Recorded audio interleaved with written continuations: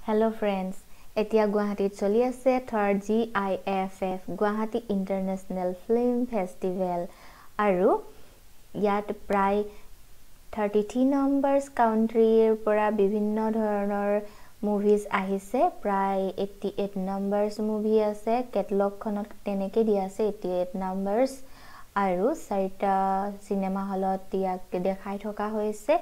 তিনিটা আছে কলাক্ষেত্ৰত আৰু এটা হৈছে জ্যোতি চিত্ৰবৰ্ণৰ প্ৰেক্ষাগৃহ।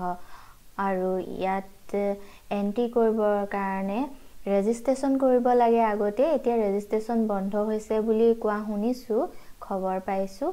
ৰেজিষ্ট্ৰেশ্যন কৰাসকলে ইয়াৰ পৰা এণ্ট্ৰি কিট এটা পাব। এইটো হৈছে এণ্ট্ৰি কিট। আৰু ইয়াৰ ভিতৰত আছে ব্ৰিফ দিয়া আছে এখন কেটেলগত চিনেমাসমূহৰ।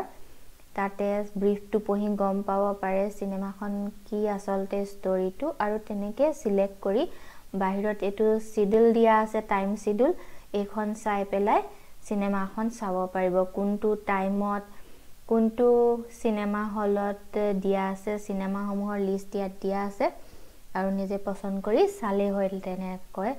আৰু ইয়াতে কিটটোত আছে এখন জ্যোতি চিত্ৰবনৰ তাত ভূপেন হাজৰিকা ফিল্ম ইনষ্টিটিউট আছে তাৰ এখন প্ৰচপেক্টাছ দিয়া আছে আৰু লগত আছে এইটো এণ্ট্ৰি কাৰ্ড।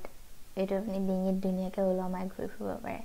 আৰু এইটো সেনেকৈ দেখাব লাগিব এণ্ট্ৰি গেটত আৰু তেতিয়াহে আপোনাক তাতে প্ৰৱেশ কৰিব দিব। চ' আমি এইটো কালেক্ট কৰিছোঁ আপোনালোকে বাহিৰৰ দৃশ্যসমূহ এতিয়া অলপ চাই লওক। বাহিৰত এটা অ'পেন ষ্টেজো আছে। যাৰ যাৰ ৰেজিষ্ট্ৰেশ্যন নহ'ল বা কৰিব নোৱাৰিলে তেওঁলোকে ইয়াত এই বাহিৰৰ ষ্টেজ শ্ব' চাবলৈও আহিব পাৰে।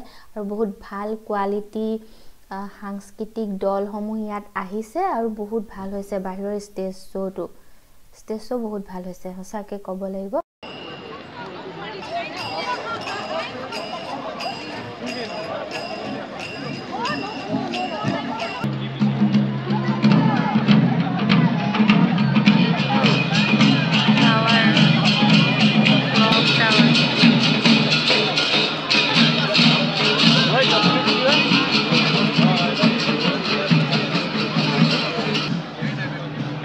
যাবে করবে বলল